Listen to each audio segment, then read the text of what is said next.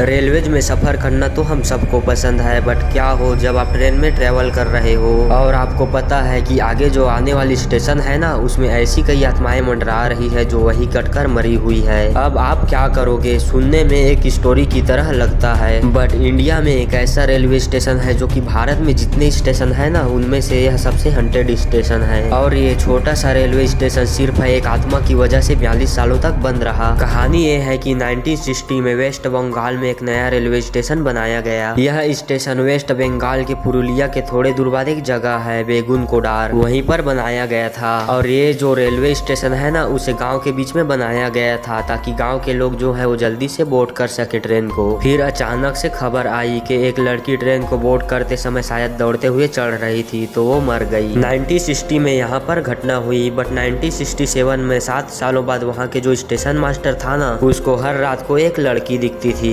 पहले दिन दिखी कि वो ट्रेन को दौड़ दौड़ के चढ़ने की कोशिश कर रही है। उसको लगा कोई होगा रियल लड़की। फिर दूसरे दिन भी सेम चीज़ सेम कपड़ा और सेम जगह। तीसरे दिन जब ट्रेन आई तो फिर भी वही देखा तो वो समझ नहीं पा रहा था कि क्या हो रहा था। उसके बाद पता नहीं ऐसा क्या हुआ कि उस स्टेशन मास्टर की मौत हो गई। उसके बाद जो भी वहाँ आता सबके साथ बुरा होने लगता। फिर 1967 के एंड में जाके टिकट काउंटर वेटिंग हॉल ये सब चीज़ बंद कर दिया गया। खौफ इतना बढ़ गया था कि उस टाइम जब एक आध दो ट्रेन जाता था ना, तब जो ड्राइवर था वो देखता था कि बेगुन को डर आने वाला है, तब वो ट्रेन की स्पीड को पूरा डबल कर देता था। और सारे पैसेंजर जो है ट्रेन के विंडो को बंद कर देते थे और सारा गेट अंदर से एकदम टाइटली क्लोज कर दिया जाता था। बयालीस साल मीन्स 1967 से 2009 तक सिर्फ़ उस आत्मा के चलते उस स्टेशन को बंद कर दिया गया। कितने बार अथॉरिटी से बात की गई वहाँ के एमएलए से। बट उन लोगों का कहना था कि जो लोग बोल रहे हैं वो गलत नहीं है। बट फाइनली 2009 में जाके ममता बनर्जी, जो कि उस टाइम रेलवे मिनिस्टर थी फाइनली उन्होंने इस स्टेशन को ओपन करवा दी। तब से यह स्टेशन खुला हुआ है। और जब ये स्टेशन खुला, तब से अभी तक एक्टिव है। अभी के टाइम पे वहाँ दिन में ट्रेन तो आता जाता रहता है बट रात के टाइम में लोग आज भी उसी खौफ में रहते हैं। और रात में अभी भी लोगों को पैरानॉर्मल एक्सपीरियंस होता है। तो ये था पूरे इंडिया का सबसे हॉन्टेड स्टेशन जो कि बयालीस सालों तक बंद रहा। सोच सकते हो, कुछ तो था वहाँ। वीडियो को शेयर ज़रूर करना और चैनल को सब्सक्राइब करके बेल आइकन ऑन ज़रूर कर लेना।